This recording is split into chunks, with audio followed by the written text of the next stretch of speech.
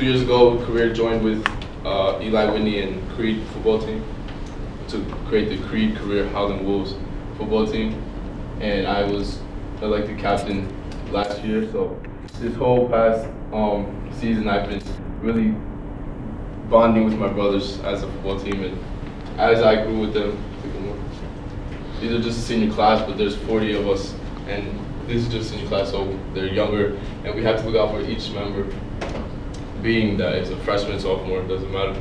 And a lot of what I've noticed is that they don't choose to um, protect themselves as much as they should, which is why I see a lot of them leaving the football team because of concussions. And as a captain, I felt it was my duty to go ahead and educate my peers here at Career about concussion awareness, just not for football, but as a captain, I know that in any sport it's possible and nobody should get hurt in a way that affects their brain.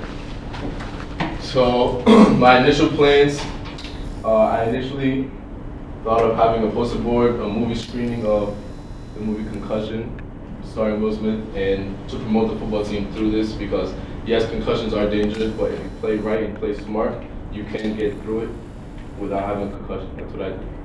And over time, some of the changes that occurred were I added CTE into it. Uh, I added brochures as you have in front of you, surveys to my peers that I actually presented to. I was certified by the CDC to um, diagnose students with concussions as a coach. Uh, uh, the movie actually got denied because it was viewed as impractical at the time. And uh, I got my coaches involved as well, not only getting information from them, but also making them take quizzes themselves to see how much they knew about concussions. Uh, some of my resources were Mr. Coco, Careers Athletic staff, because they all worked as a trio to help me out. Uh, my coach, the athletic trainer, Ms. Marina, the Center for Disease Control, uh, Boston University for the CTE research, Football USA for overall concussion, and uh, Play Hard, Die Young by Ben Omalu, which is the book he wrote. Uh, my final outcome ended up being the poster board. And as you can see, I was actually able to present to my personal finance fitness class, and here they are. And uh, I also presented to my three lunch waves on B-Day. And some kids actually took away from it more than I expected. here we go with Frank actually thanking me. Uh, and as I said, I was certified by the CDC to diagnose my peers with concussions and care for them. And this is these are some of the questions I had on my survey, such as would you consider yourself athletic and what sports do you play, just to see who my audience was, who I was talking to. Do you play for the school to see if they are or not? If they are, they're being supervised, and that's a little bit better. But if they're just playing basketball outside, you know, they don't have anyone to be there watching them. So just questions to get to know my audience and who I was speaking to. Uh, and my magnet theme for this capstone was, I am a business student, but I, I also connected to health. Uh, the business side of it was the various health products that they created, such as the uh, headband collision sensors by Triax Technologies, which measures the impact of every collision that you take from football. So if you end up taking too many, they will pull you out before you get hit hard enough to actually be concussed.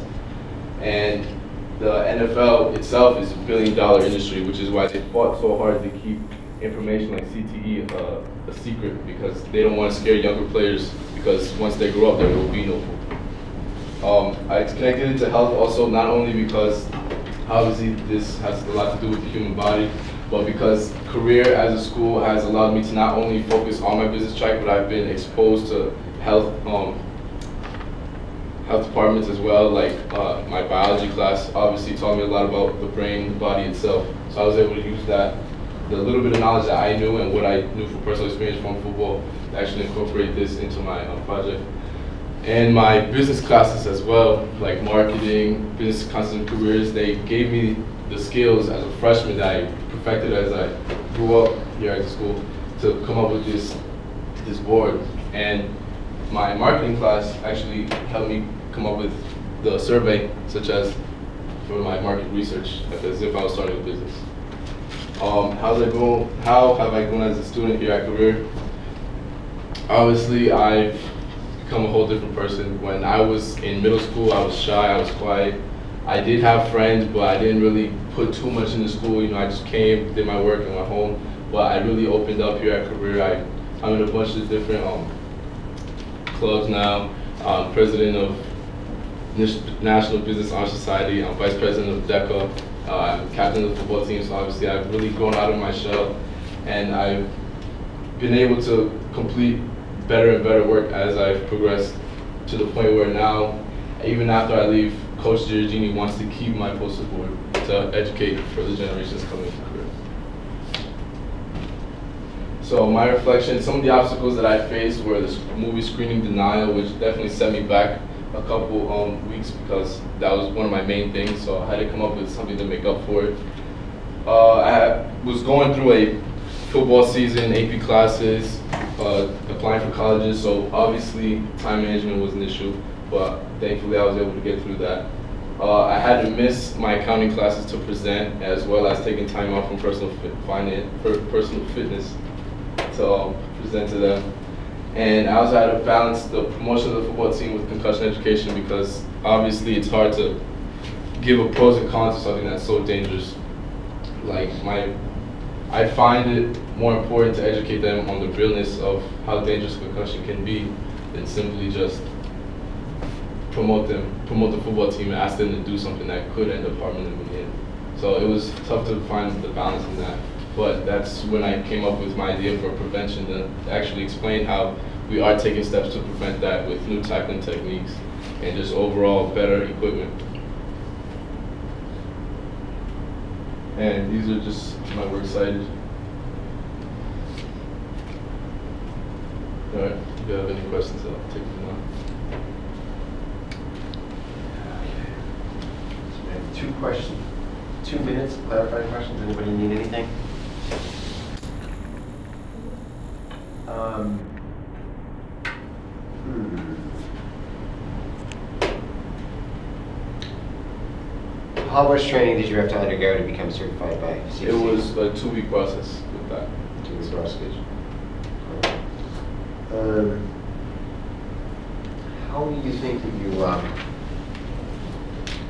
how do you dealt with the idea of problem solving, and critical thinking, you know? Yeah, well, obviously my obstacles, if you go back two slides, my obstacles that I faced, I had to find a way to overcome them and critical think, critical think through the, um, the movie screen denial was my main setback, which I really had to think of other ways to educate my peers because the concussion movie itself is a great way to show students how concussions are dangerous, but the game of football is so beautiful that people are able to see past the injuries and really instill it in their lifestyle.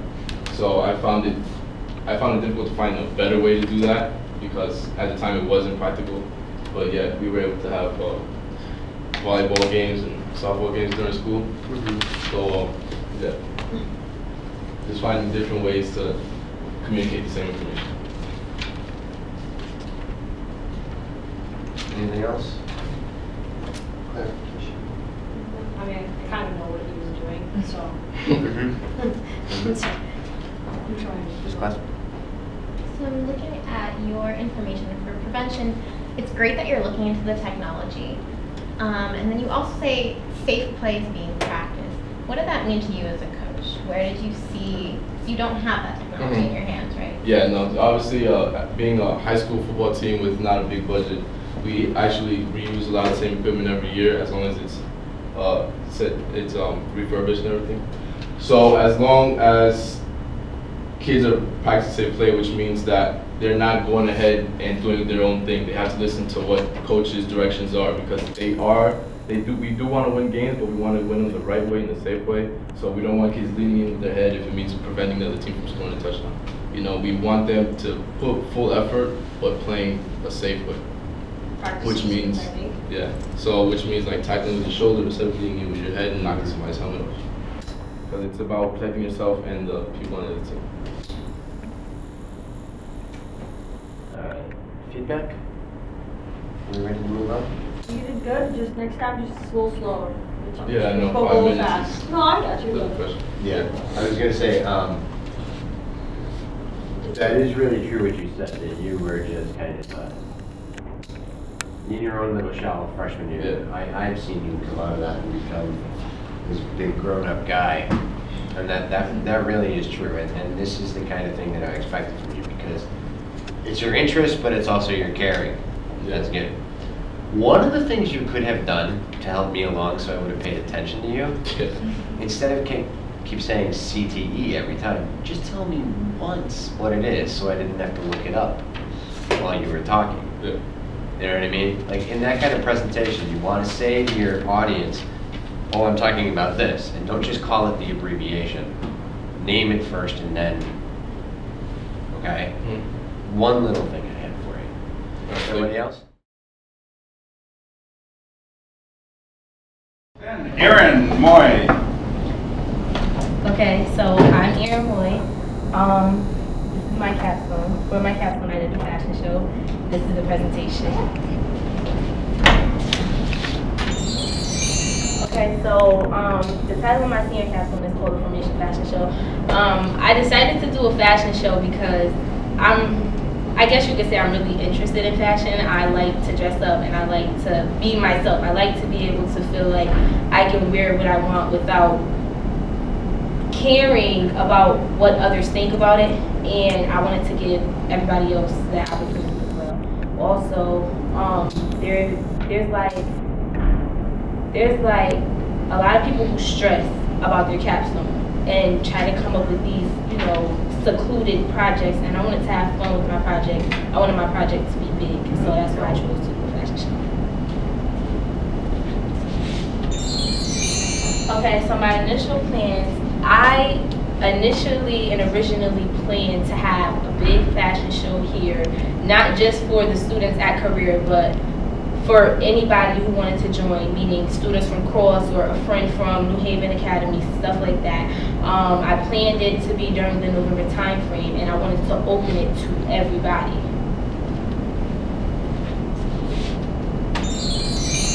um, some obstacles that I came that I came across was security. The reason I couldn't do my initial plan was because I was being charged over three hundred dollars for security, which was something that I did not have. Um, I also had paperwork issues from the time that I started my capstone class. I knew what I wanted to do, so I put in my activity request form and my building request form ASAP. But since I had to change my project, I ended up having to do my paperwork at least three times. Um, I also had problems with um, communication and stuff like that. Um, like I said, I did my paperwork, but the office didn't have my paperwork, so I had to keep doing it over and over again. Space, um, like I said, I did the building permit request, but because the office didn't have it, I had to refill it out again, and I had to put down, more, I had to be more specific with it. I had to write down rehearsal dates, rehearsal times, and where I wanted to rehearse um, and the date. I was iffy about after I came up after I settled what I wanted to do. I was iffy about if I would have enough time to get it done. So I was thinking that I would have to go talk to the capstone. Um, I don't know if I call them administrators, but the people, the teachers that are in charge of capstone, and that I would have to get the date pushed back and see, you know, have to work something out. But I ended up having enough time. Okay, so the final outcome, there was a fashion show at Career, and it was still the November timeframe. Um, it was just, my audience was career staff and career students, and I also used career students.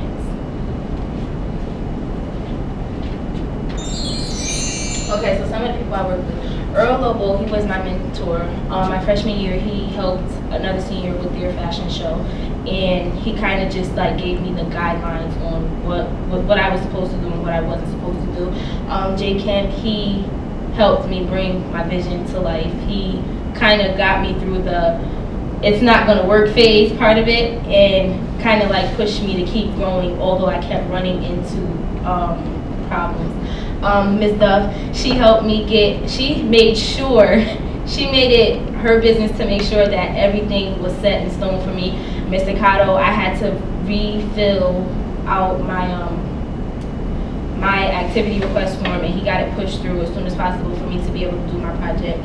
Um, Natalia and Maya, they're two students here and they do makeup, so they were like kind of my resources to be able to do makeup without having to pay for it. Um, Gina Benson, she's a career alumni and she was my photographer. And as you can see, a handful of career students and most of the most of the girls that I used were from my cheerleading team, so I also use that as a resource as well. Um, these are just some websites that I use since the, since um, my show was based off of the theme of my show was based off of women's liberation and like the during the civil rights era and a lot of stuff that were going on in the world today.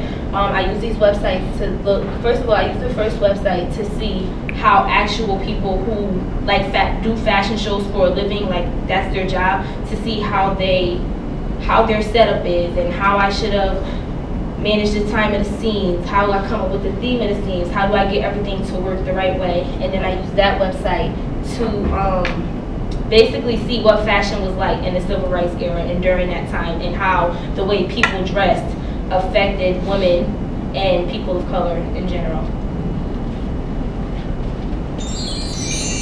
Okay, so this connects to my magnet theme. One, I'm a business student. Um, I took marketing one with Mr. Heller, and he kind of helped me.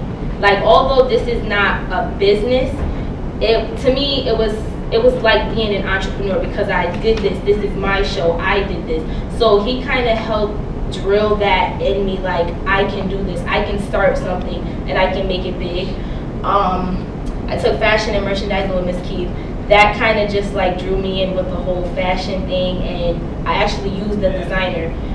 So the merchandising part of it kind of like tied everything together. Um, business concepts and careers. Business concepts and careers helped me be able to make my presentation and it also taught me presentation skills as well. And digital media. Ms. Bryson helped me come up with the flyers and stuff and the programs for my show. Okay, this is the program,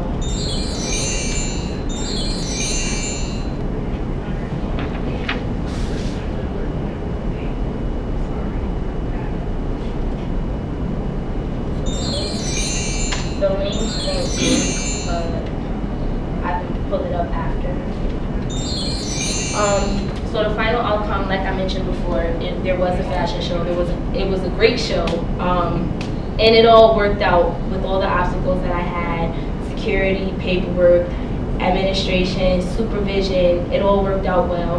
Um, looking back, I would probably say one thing that I would work on, or if I had to do this over, I would probably work on my time management. Although I think I managed time pretty well, I only had three days to rehearse because I have a jam-packed schedule outside of school.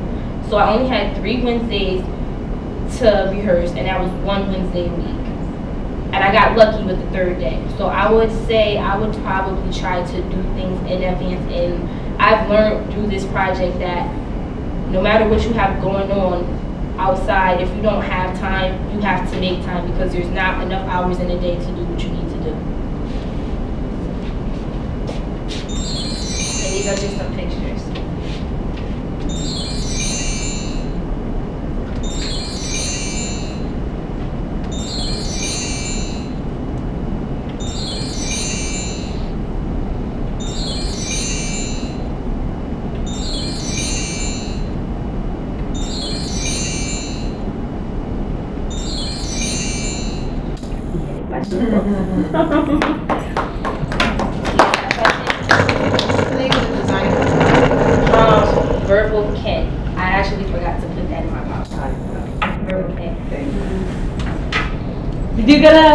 a video or something? Um, I actually, the photographer, she videoed on her camera, but the videos wouldn't save as videos. They saved as pictures.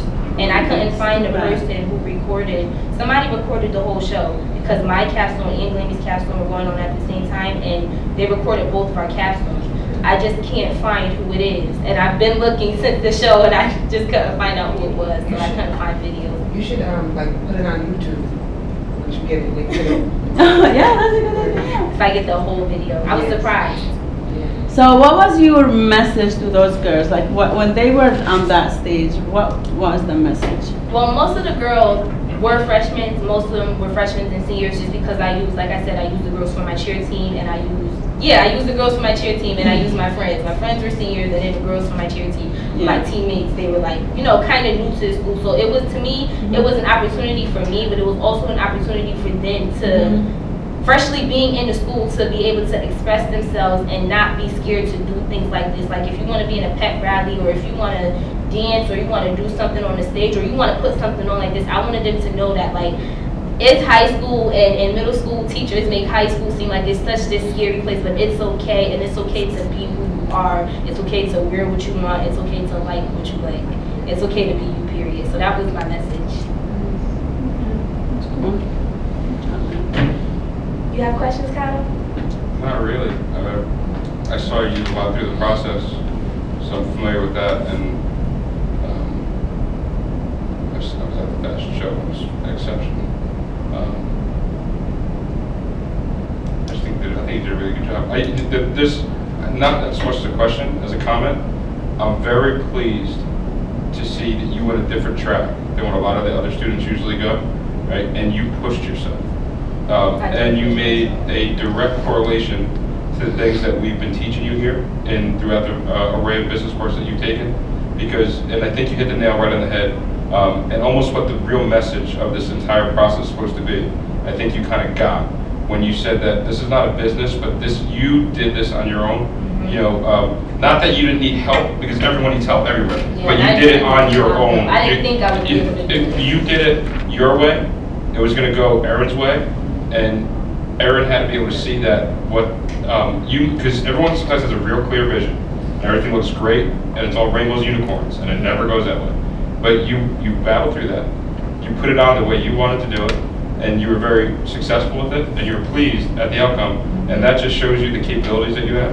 And for you, I think everyone who knows you knows that you're probably going to end up in the fashion industry in one way, shape, or form. Uh, you know, and this I think should um, just reinforce to you that you have you have the ability to do so.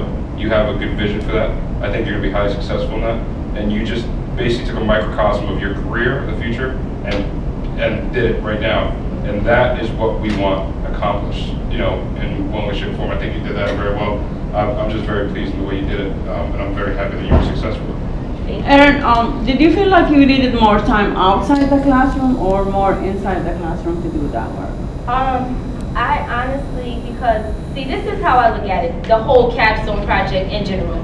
The capstone class, it's not hard as long as you do your journals and you can't, and that's the thing, a lot of people try to wing the journals, like just try to type anything in the journals. You can't just type anything in the journals if you're not actually making progress, if you're not doing work. So being in the capstone class, I think that was the easiest part of it. I felt like I needed more time after school, I won't say outside of school or outside of the class, but more time after school, which I had to force myself to say, okay, I can't do this. Meaning, like, I can't do this thing that I have going on outside of school because I have to do this for school. I had to get my priorities straight, and although I wanted to do this or I had this to do, it was like, I can't do it because I have this to do. I have to do, I have to get it done.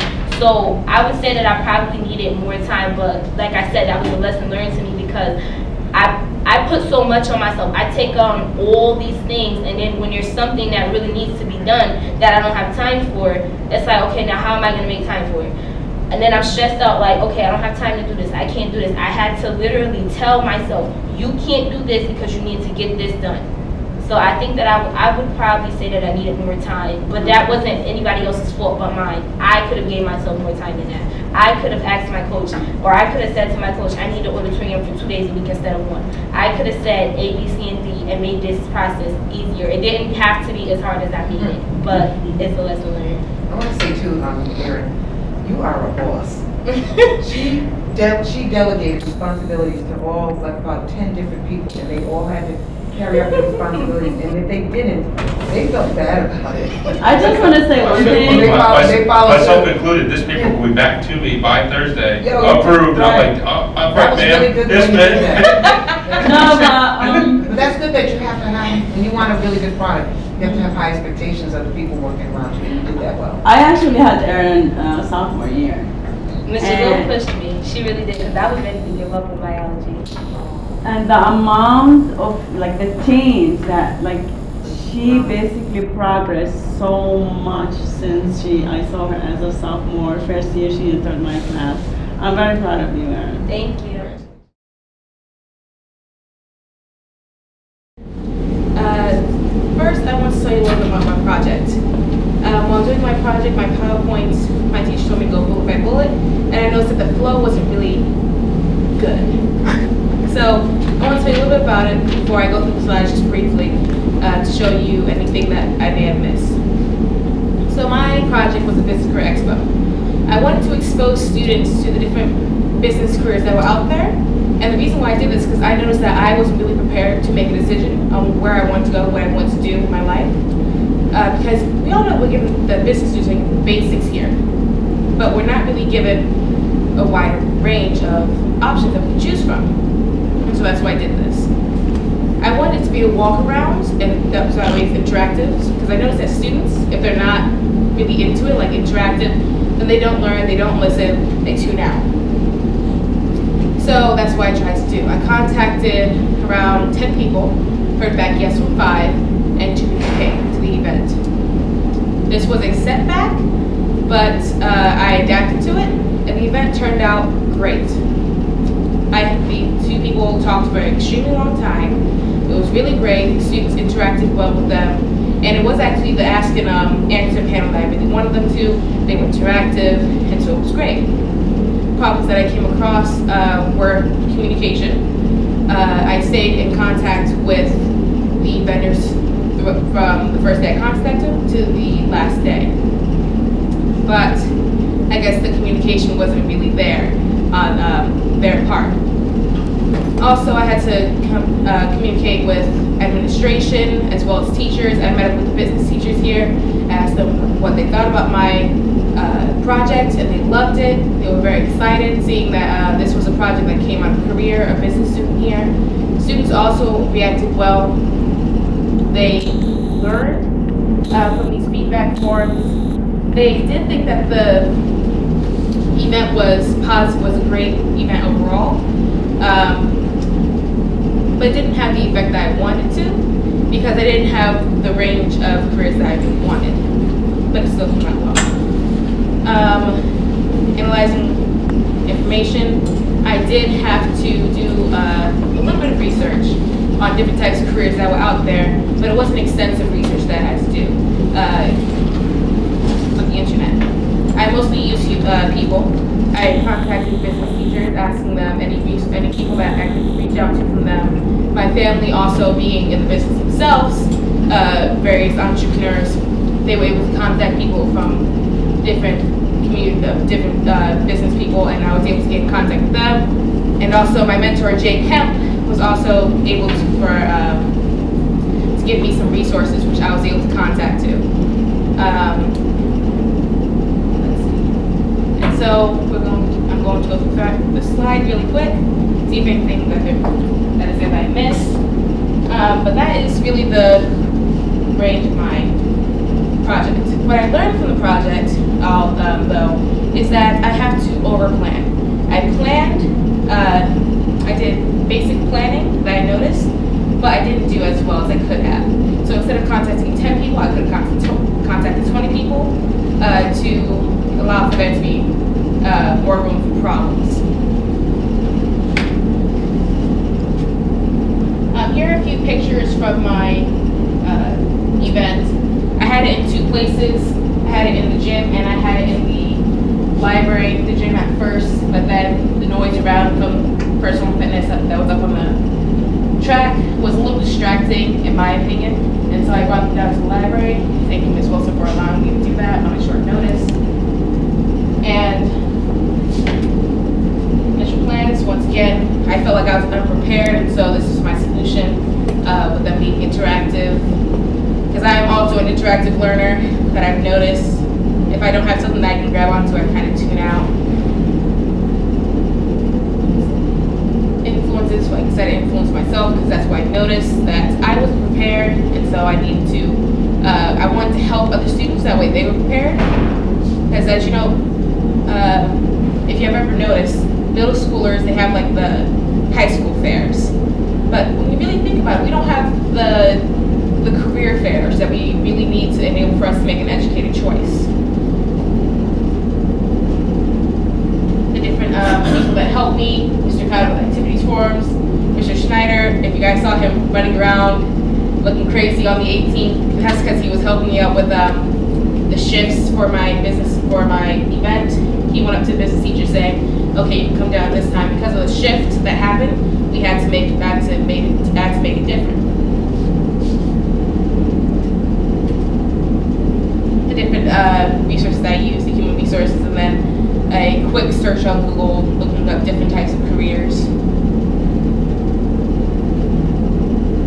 Once again, the impact and reactions of the students and the teachers. Um, like I said, the teachers were extremely excited. Um, a few of them had surprise faces when I brought up the uh, concept of the event. They were like, "Oh wow, really? This is this is something you're doing? Yeah, we're seeing a good capstone." And um, students from the feedback forms I um, collected, they felt like it was like it was effective. Something that I didn't mention, sorry, is that uh, how it connects to my magnet. I'm a business student here at Career, and classes I feel help. I felt helped me um, be able to do this project. Marketing, marketing. You have a business plan. You have to go through it. You have to have a problem that you want to solve and create a business to help solve it. And so my problem was that I didn't feel like I was educated enough to make my own decision about what career I want to go into. And so to help other students figure out what they want to do uh, career-wise, business students at least, I created this event. Computer apps, I had to learn how to make spreadsheets. Um, I already know how to make spreadsheets, thank you uh, for computer apps. Uh, pertaining into information that had the names of the uh, vendors I contacted, who I was talking to from that business, when I contacted them, if they were able to come, and any other information that I needed to grab from them. And business concepts, proper emails. There was a generic email that I sent out to most of the businesses asking for uh, people from their business that were able to come out, or if I could just get a representative from the business in general, or to individuals like I had to do. And um, networking is something I was learning business concepts. If I had not known Jay, then I would not have um, the resources that I have uh, now pertaining to the event. He was able to give me many of the resources that I went to. Uh, the two people that were at the event are through the connections that I made through him and his connections. How I have grown at career. I am more knowledgeable about um, the world in general, how to uh, force yourself in the world to make uh, yourself known, to be able to do things like this, to be able to put yourself out there, to be able to create an event that actually impacts people. Networking, I have, networking is extremely important as I feel, um, like I said earlier, if I had not known Jay, if I had not connected to his networks, then I would not have the event, that I would not have had the event. And I learned how to be patient. You really need patience to go through career, and I learned patience from when I was the morning of. Could you teach us? If any of you guys were at the senior uh, meeting, then you guys would have known what pa- how much patience we had to have. Um, patience, the morning of, I was uh, searching for the people that were supposed to come in that said, yes, we're going to come in, what time, and all the information. I've given all the information out. And I was literally scrambling around the school, like, okay, I uh, Miss Diana in the front, uh, all the people that were coming to the gym, and uh, doing with the emails and stuff like that, asking them, uh, the vendors, if they were planning on coming again. And so, yes, I had have a lot of patience with dealing with people and their schedules and also the activities request form, which takes two weeks. So, like I said, the final outcome is that it wasn't the walk around that, that, that I wanted that was the ask and answer panel, uh, but it still worked out extremely well. The students learned something, the freshmen learned something, which is what I was happy about. The seniors were extremely interactive, and as you can see, Natalia Marquez right here. Like I said earlier, problems that I faced communication. Communication between me and the school was not the best when it comes to my activities forum. Uh, I first. I went to just make sure that it was okay with her. It took her a two-week turnaround to get an answer back to me, and she shot me to um, activities saying I had to go to them first, which set me back two weeks when I could have just gone to activities. Um, time management uh, as a senior, and this is a very strenuous project with um, college applications. I also take college, uh, college classes at Quinnipiac and things like that. And so trying to put all this together is uh, takes me uh, to be able to manage my time and solutions. Um, besides me being uh, having a lot of things on my plate, I was able to prioritize. I was able to get things done for this event, for my other classes, for here, for my extracurricular activities that I do after school, and I was able to keep everyone updated whether it was the vendors, just reminding them or asking them uh, for extra information, and keeping my mentor updated, and keeping the school updated, and keeping the gym teachers and the business teachers updated. That was um, all the things I had to uh, both prioritize. So, despite me saying that I had uh, these people help me, these pro- pro- projects are really up to us, the students, to get it done. We're not supposed to rely on our mentor, we're not supposed to rely on our teachers, we're not supposed to rely on those that we're asking help for. It's really us that are supposed to put it together and really do it. And so that's why I took self-initiative and accountability. This event was all on me. I was I didn't go and say, well, can you just help me here? Can you please just um this is I can't do it all and uh, I really just want to give it all to you and I'll just step back. That's not what I did. I learned that that's what I really need to um, take charge in. The takeaway um, was I had to over, I, the old adage stands true. Prepare for the worst, hope for the best. I hope for the best. Um, I didn't plan uh, for the worst as much as I should have, but it still came out great. And so what I need to uh, do in the future when I'm planning events like this, or even in everyday life, is that I need to overplan.